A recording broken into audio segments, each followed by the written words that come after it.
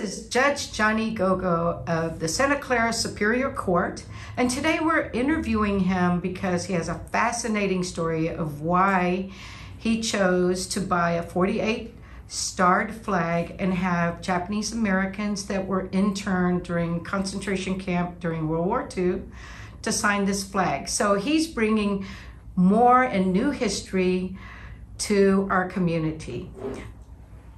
So my first question to you, Johnny, is tell us a little bit about yourself. You are actually Guamanian. Yes, my uh, both of my parents and my grandparents, as far as able to uh, to trace them back, uh, are from the island of Guam, and as uh, uh, many folks already know, Guam is part of the United States and has been part of the United States since 1898. Um, and um, my parents, uh, again, were, were born on Guam. Uh, my father joined the military right out of high school, and uh, I was actually born in Germany. Uh, but uh, because my father was in the military, I was born at a uh, American military hospital in Germany, and, and um, so I'm a U.S. citizen. I at one time probably could have filed for dual citizenship with Germany, but ultimately that was never done. Um, my younger brother was born in Germany. Actually, I have an older sister who was born on Guam, and my older brother was born in Japan, uh, again, when my father was uh, stationed out there. And I have a younger sister who was born in Kentucky. Uh, and because we were a military family, uh, like a lot of military families, we moved around every three years to a new military uh, post. And so I've grown up really around the world, and, and uh, I've grown up in Germany, I've grown up in Japan, Guam, California, Alaska, uh, Kentucky, uh, and so again, um, throughout many parts of the world. Uh, California was eventually where my father retired, and we uh, were in the Sacramento area. And so I finished my high school up in Sacramento, California, and started uh, junior college at Sacramento City College. I transferred down to Riverside City College for a year before uh, graduating from University of California, San Diego, UC San Diego, uh, with a uh, degree in political science and a minor in history. And that history uh, uh, part will come back to us. and then I took two years off to work and just kind of take a break from school before starting law school at Thomas Jefferson School of Law down in San Diego and graduating and becoming a prosecutor. Um, and I started my prosecution career out on Guam. So I moved back to Guam, worked there for a couple of years, uh, decided um, to come back to California, and um, no prosecutor offices were uh, willing to give me an opportunity down in Southern California. I decided to apply to the San Jose, uh, Santa Clara County DA's office in 1999, and they took a chance on me, and I uh, came up to San Jose uh, and, and uh, started my career at the DA's office here. And recently, in 2019, uh, Governor Newsom appointed me to the Santa Clara County Superior Court, and I've been a judge now, uh, handling our criminal cases here in our county uh, for the last year and a half. What an incredible story. Please explain to us a little bit of how you got so interested in the Japanese American history during World War II. Absolutely. Uh, so I've always had kind of a, a, a, a, genuine interest in, in history, and in particular uh, World War II history, because my parents uh, were both born on Guam, and they were both small children in 1941 when Guam was invaded by the Japanese Imperial uh, forces uh, the day after Pearl Harbor Day. Uh, Guam was captured and occupied uh, from December 10th of 1941 through July uh, 21st of 1944. And during that approximate two and a half year of occupation, uh, my parents as natives remained on the island, uh, really um, helping to, uh, they, they, and their families were helping to um, uh, support the Japanese occupation that was on the island at that time. And so there's always been that, that kind of history, that tie to history uh, for me and my family uh, with respect to uh, the Japanese uh, American uh, connection, the World War II connection, etc. Um, in terms of more specific interest in learning about the more about the Japanese inter- American internment experience. That really started more so when Judge Roberta Hayashi here in San Jose became a judge uh, with our bench, and uh, Judge Hayashi joined the court's community outreach committee. And when she became part of that community, uh, I'm sorry, that committee, she started to help uh, educate our bench, our city, and our county more about the events and celebration of Fred Korematsu Day. And I was a then a DA uh, still with the Santa Clara County DA's office when I met uh, Judge Hayashi.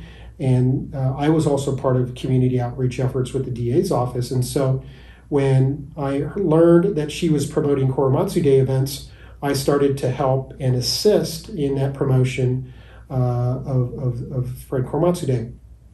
So on and so forth, I, became more and more involved. Uh, obviously, uh, met a number of folks here in our San Jose Japantown uh, related to uh, the Fred Korematsu Day events, um, including uh, famed civil rights attorney Dale Minami. Dale came out to do one of the presentations here in San Jose um, during Fred Korematsu Day events. Um, and I got to learn a little bit more about Dale and would run into Dale at different uh, uh, uh, community events, Asian Pacific American Bar events, and slowly got to uh, build a relationship with uh, with Dale over the years. Um, but it wasn't until I got uh, appointed to the bench and became a colleague with Judge Hayashi that I decided that um, you know was there more that I could do to help promote uh, Fred Day and the lessons. Uh, um, that we need to, to learn from there and, and take from there so that we don't uh, repeat those same mistakes of, of removing uh, American citizens um, from their from their homes, from from their jobs, from their schools, from their lives, uh, without proper due process uh, and evidence.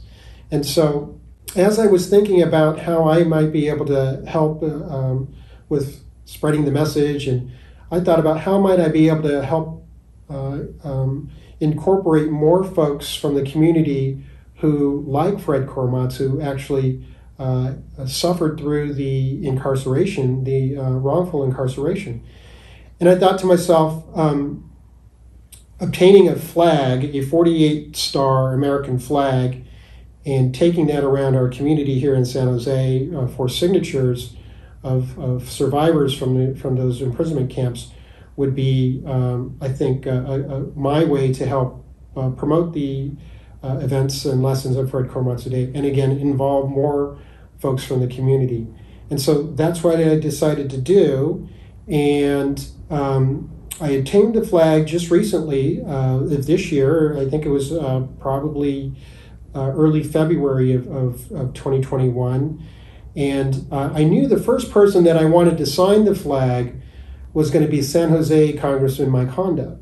Uh, because um, I, I, knew uh, uh, Mike and I knew he was very involved in the community and I knew he had done uh, fabulous things for our community when he was um, in office locally here in Santa Clara County and then when he was a U.S. Uh, congressman for San Jose in the area. And so I knew a little bit about Mike Honda's story um, and I knew that he was, again, um, a fantastic member of our community in terms of outreach. And so, um, through the grapevine, I was able to track down um, Mike Honda's name and phone number. And I reached out to uh, uh, Congressman Honda and I asked him uh, if he would uh, um, be, you know, do me the honor of, of signing the um, American flag. And we sat and, and met uh, one Sunday afternoon and as is typical with Mike Honda, he quizzed me about uh, the, the project and uh, he asked me uh, a lot of uh, very probing questions. Uh, I must have answered them to his satisfaction because Mike Honda was the first was the first signature on the flag. He wrote my name first, go go go, and then he wrote Mike Honda, oh, 2021. Okay. And then he wrote his um, his camp number. Uh, and I was very honored to have him be the first uh, uh, signer for the flag.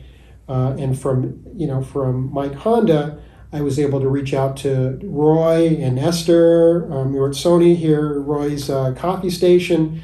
I reached out to um, uh, his granddaughter Jasmine because I, I, I, knew that Jasmine and the family was running the coffee station. Jasmine, who put me in touch with her mom Carol, uh, and Carol set up uh, the meeting at the coffee station, the, uh, and um, justice and perseverance. Uh, I had seen Roy around the coffee station and an Army veteran's hat.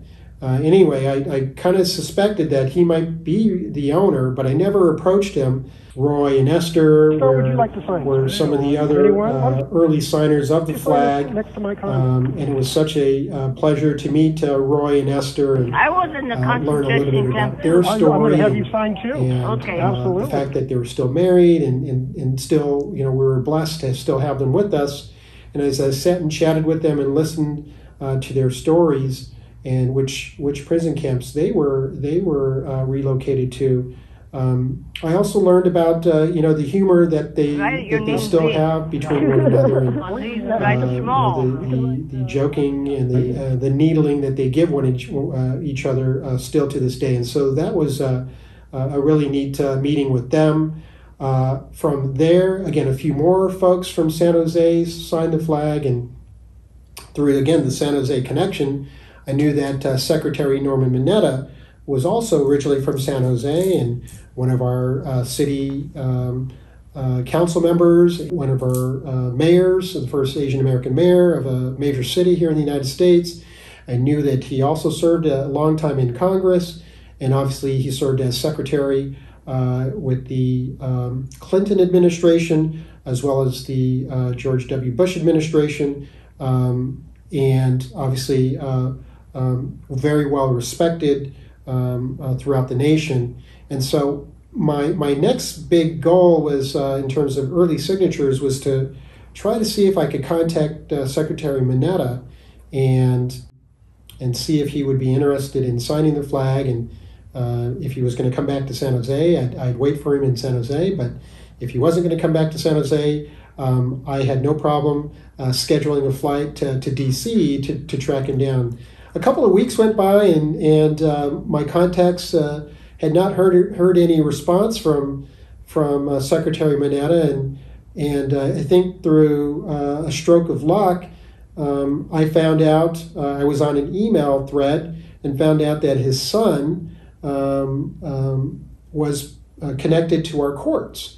And so I reached out to one of our other judges to see if she could connect me with the son and the son connected me ultimately with the father, Secretary Mineta. And uh, the son, uh, David, helped me arrange uh, a time to, to actually uh, meet with Secretary Mineta uh, at his home on the East Coast. So I booked a flight to DC and flew out to DC, took some vacation time, and um, met with Secretary Mineta. And, you know, I wanted to be respectful of his time, and so I, I really only in my mind set uh, maybe maybe an hour tops uh, to meet with him and, and chat with him. And um, as I met with him and, and, we started to talk, he uh, shared uh, some of his history, and he's got a deep history. Um, and obviously, I was fascinated uh, with that uh, history as a as a student of history and a student of politics and a student of law and justice. and um, I just let him continue to talk, and I just continued to ask open ended questions. And uh, before you knew it, uh, that one hour turned into about a three hour uh, uh meeting with Secretary Mineta. And, and, thankfully, we had a beautiful, gorgeous day back east, and we sat outside underneath uh, uh, an umbrella on his patio and and really just had I had a really wonderful conversation with him and and I was honored to have Secretary Norman Mineta sign the flag. And um, as he signed the flag, um, not only did he write his name on the flag, uh, but he decided to also write uh, the words non alien. And uh, as I asked him about uh, why he wrote non alien, uh, he told me the story of, of him being at, at uh, the prison camp at Heart Mountain.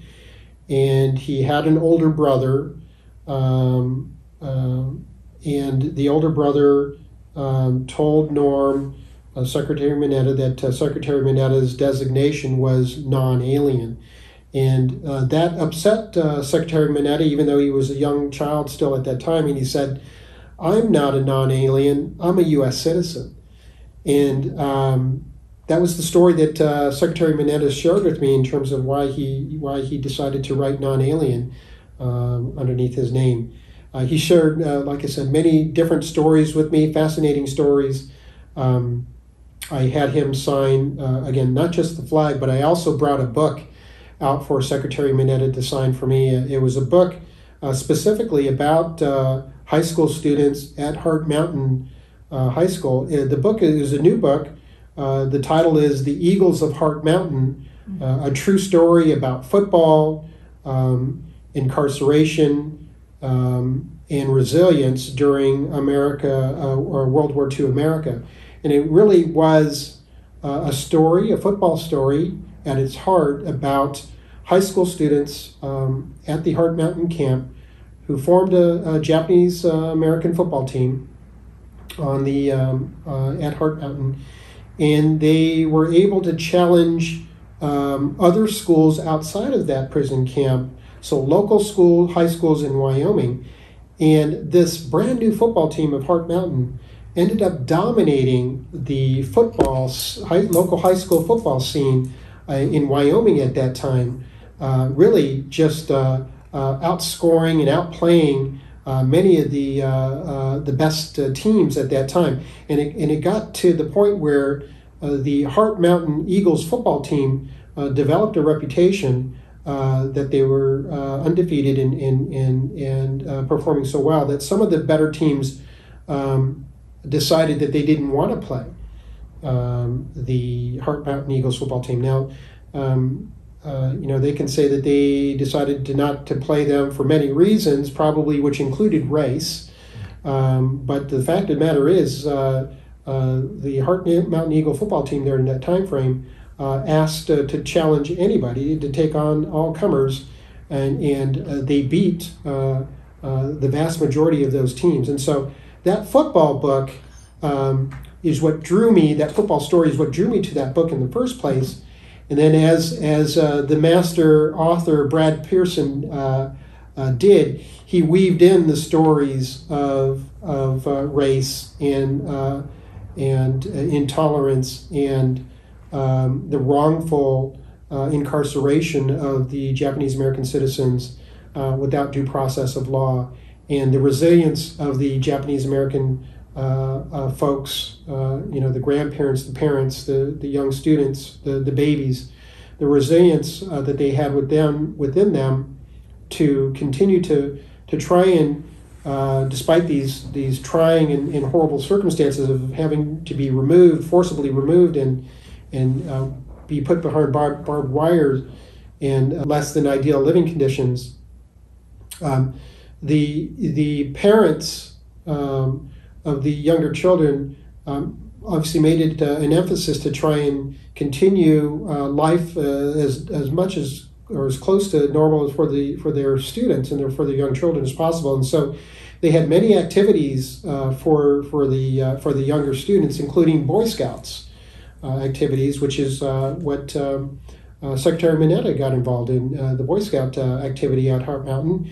And um, as many people know, it was through his Boy Scout involvement that Secretary Mineta met an, a Boy Scout from outside the camps by the name of uh, Alan Simpson, who later became uh, a very uh, well known, respected senator from the state of Wyoming. And so the political career of Norm Secretary Mineta paralleled the political career of Senator uh, Simpson, and the two of them, um, uh, from different sides of the uh, of the aisle, if uh, uh, if you will, Norm Secretary Norman Mineta being a Democrat and Secretary Alan Simpson being a Republican, they got together to work on bipartisan legislation and led the way for a lot of a lot of bipartisan efforts back in D.C. during their time. But amongst the other activities for the students was organized sports, basketball, baseball, and football. And so again, that story, that story of that undefeated football team, drew me to that book. Uh, even though um, Secretary Mineta wasn't specifically mentioned in the book, the book did mention the Boy Scouts. Um, involvement in uh, in the story, and so I had Secretary Mineta sign uh, the book where it mentioned the Boy Scouts, and, and so he honored me uh, by doing that as well.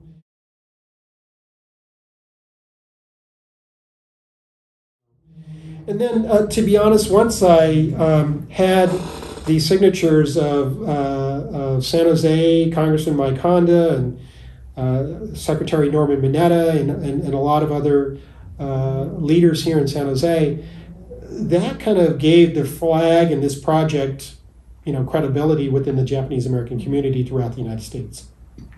And um, with that uh, credibility, I reached out uh, to my colleagues down in Los Angeles on the Superior Court bench, um, my Japanese American uh, uh colleagues uh, that are judges, and um, uh, Judge Holly Fujie in particular, who is the leader of our California Asian Pacific American Judges Association. Um, she's been a longtime leader in, in Los Angeles. She reached out to other colleagues on the bench, and other judges and, and judicial officers in Los Angeles reached out to me, and I um, partnered up with uh, Commissioner, uh, uh, Los Angeles Superior Court Commissioner Evan uh, Kitahara, uh, who told me that both of his parents were still alive, and we partnered up and we set a date down in Los Angeles uh, at the Japanese Institute of Sawtelle. we borrowed their parking lot one Sunday afternoon and set up some tables, uh, brought some pens and some hand sanitizer. And uh, we had a good turnout uh, in Los Angeles that day. Approximately 25, 30 people came out to sign the flag, uh, including a couple of, again, uh, folks who uh, were out from Heart Mountain. And I had them sign the flag as well. And two, two folks in particular, Bacon Sakatani, uh, and George Iseri, uh, who live in Los Angeles, but were, again, uh, ch- smaller children around the same time as Secretary Mineta um, at Heart Mountain. And both George and Bacon came out to sign the flag with their Heart Mountain polo shirts on. Uh, and their ball caps that uh, indicated they were also uh, U.S. military veterans, both George and Bacon having served in the Korean War. And so it was, uh, you know, again, an honor for all of the folks in Los Angeles to sign the flag, but uh, in particular, Bacon and George, because of their their ties to the book, their ties to, to Heart Mountain, and their service uh, uh to our, our, country as U.S. Uh, uh, Army um, veterans.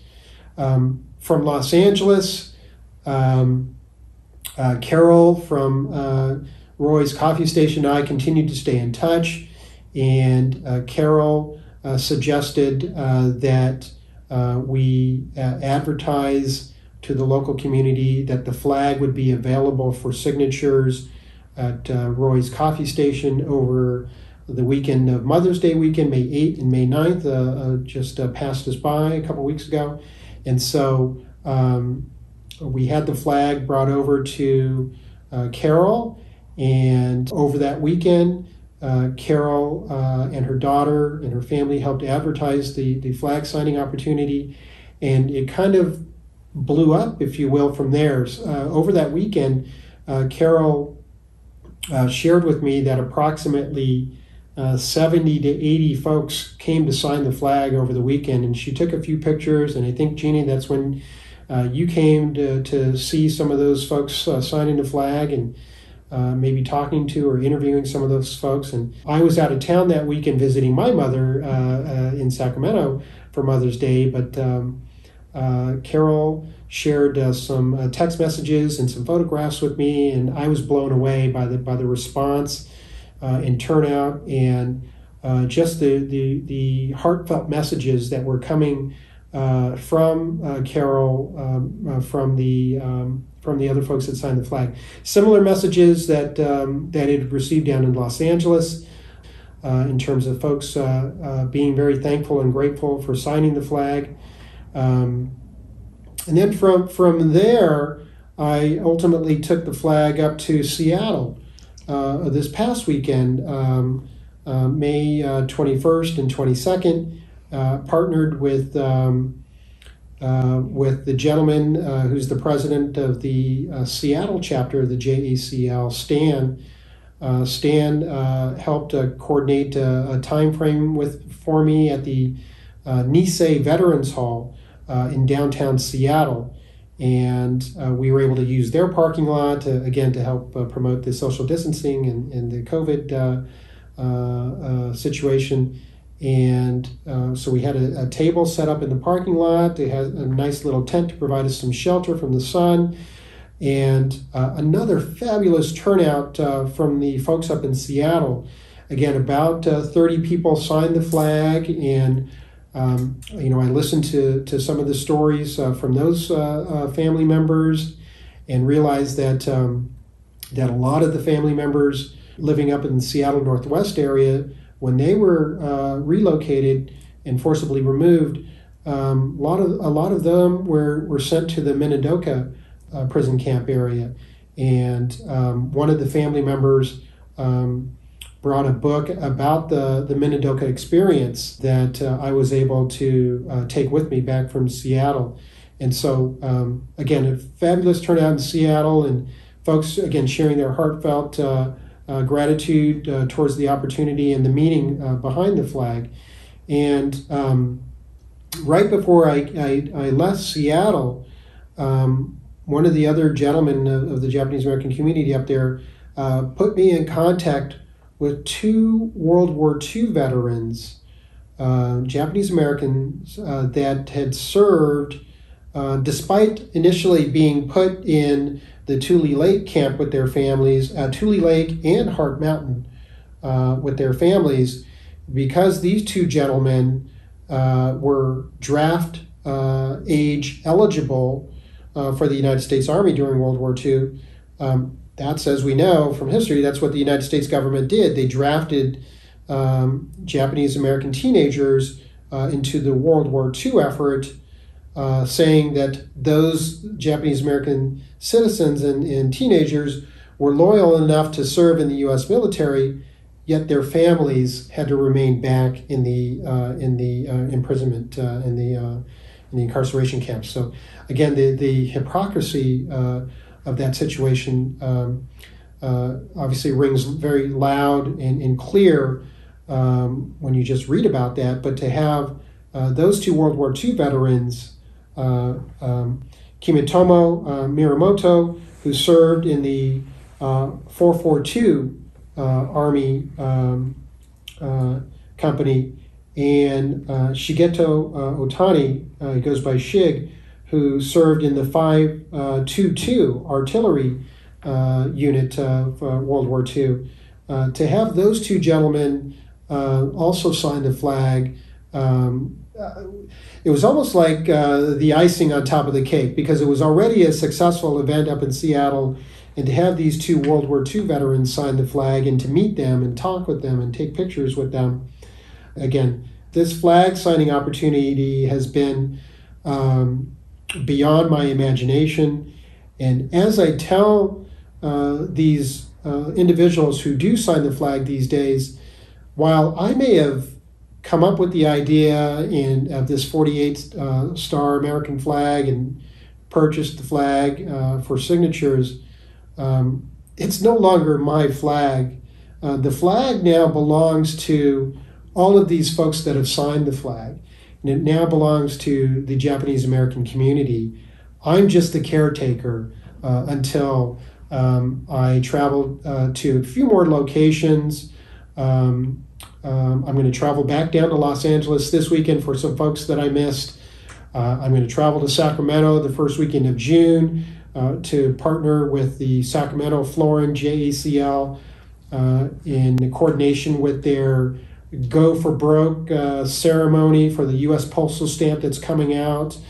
Um, I know that there are more uh, 442 veterans out in Hawaii, and so I'm going to try to contact the, those veterans that are still alive with us in Hawaii and try to make make a trip out there as soon as possible because um, uh, every day that we have with these with these veterans and survivors of, of the of the uh, prison camps, every day is a blessing, absolutely. Uh, but as we know, uh, the the uh, World War II veterans are now in their mid to late 90s, and nobody's guaranteed tomorrow. And so um, the the incentive and kind of pressure on me now is to try and make contact with the uh, 442 or the or the 522 or the 100th uh, uh, uh, um, World War II veterans um, uh, in Hawaii and, and to try to get out there sooner rather than later so that they can have an opportunity to sign the flag and and we can help uh, further honor their memory um, and, and their legacy uh, with this uh, flag signing opportunity.